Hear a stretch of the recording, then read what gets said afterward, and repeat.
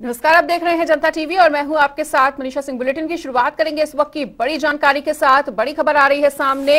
Turkey में आज सुबह शक्तिशाली भूकंप के झटके महसूस किए गए हैं। जी हाँ, बताना चाहेंगे, चारों तरफ़ तबाही का मंजर देखा जा रहा है और अब तक कुल 10 लोगों की मौत की खबर सामने आ चुकी है।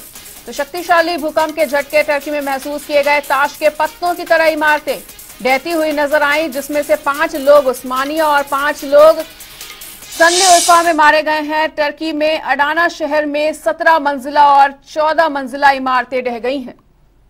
रिएक्टर स्केल पर भूकंप की तीव्रता 7.8 मापी गई और ये भूकंप दक्षिणी टर्की में आया है।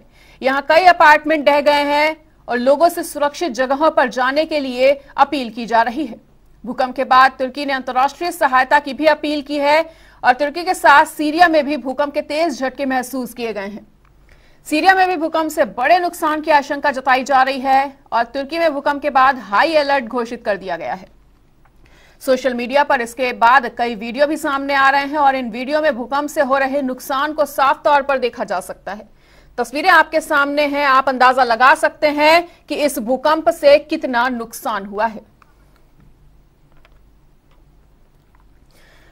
तो दक्षिण तुर्की में भारी नुकसान की आशंका जताई जा रही है। भूकंप के चलते कई इमारतें गिर गई हैं, अब तक 10 लोगों की मौत हो चुकी है। तो भूकंप से भारी नुकसान की जो तस्वीरें हैं, वो भी आपके सामने हैं। मलबे में अभी भी कई लोग दबे होने की आशंका है और टर्की में हाई अलर्ट को घोषित कर दिया गया है। अंतर्राष्ट्रीय सहायता की टर्की द्वारा अपील की जा रही है। वहीं सीरिया में भी बड़े नुकसान की आशंका जताई गई है। करीब सात दशमलव आठ तीव्रता का भूकंप आया और भूकंप के गंजिया टोप में भूकंप के झटके महसूस किए गए।